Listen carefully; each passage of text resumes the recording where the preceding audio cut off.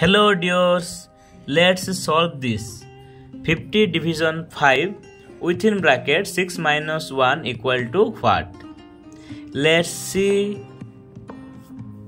Follow the rule. First of all, we should solve the bracket that is 6 minus 1. Then division 50 divided by 5. Then multiplication 10 multiplication 5. So the first step here we solve the bracket that is 6 minus 1 and we get 5.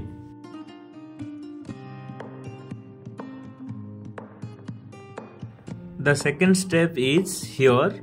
You can see we divided 50 by 5 we get 10 50 divided by 5 we get 10 then the rest is 10 multiplication 5 and the third step is 10 multiplication 5 and we get 50 10 5 ja 50 so the answer is 50 so i hope you also solve this.